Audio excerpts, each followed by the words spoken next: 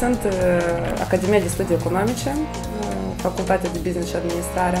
Totuși am vrut să merg mai departe pe, pe ideea de a crea un business. Deci de mică plăcându-mi tot ce era legat de modă, am hotărât să merg pe ceva bazat uh, într-adevăr pe modă, să fie, uh, să fie un business, dar să fie și un hobby în același timp.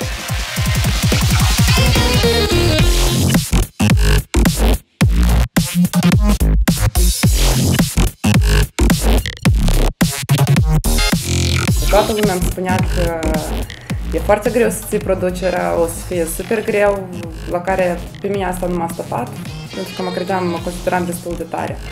Ce afacere n-ai încerca, oricum tu trebuie să scazi, tu trebuie să simți lovitura asta, că după asta să devii puternic. Eu atunci mi-am dat seama că nu simțeam piața atât de bine, pentru că mi-am părut că cercetarea de marketing care am făcut-o eu era super faină și era super mega bună. Într-adevăr nu a fost așa, deci după, doar după ce am deschis într-adevăr un magazin, mi-am dat seama că piața noastră nu era pregătită cu prețurile astea și deci vânzările într-adevăr nu erau așa de mari pe, când, pe cât erau așteptările mele. Prima, prima săptămână aștepți, aștepți la vânzări super mari, deci vânzările nu vin. A doua săptămână ai vândut o unitate, două, îți pare că o super, deja s-a pornit mai bine, după aia trei săptămână iarăși nu ai vânzări. Și deci cu timpul în jumătate de an, din păcate, nu am închis magazinul.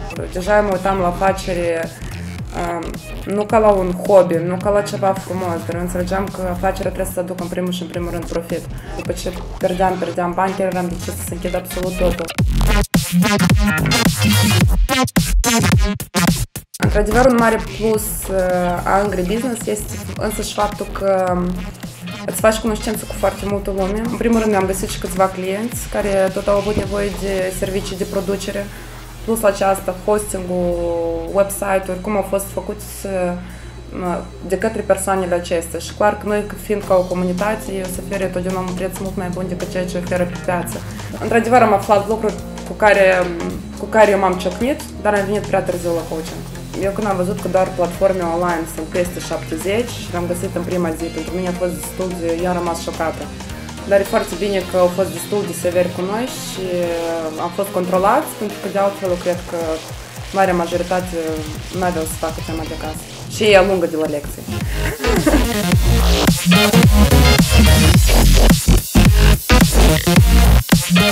Chiar nu am simțit cum treceau cele trei ore. După fiecare coaching ieșai și îți dădeai seama că gata, mă apuc de lucru și sincer, primele nopți chiar nu le-am dormit pentru că stăteam și mă gândeam cum să fac, cum am să reușesc, n-am să reușesc și chiar că trebuie de aplicat și uite cât lucru trebuie de făcut.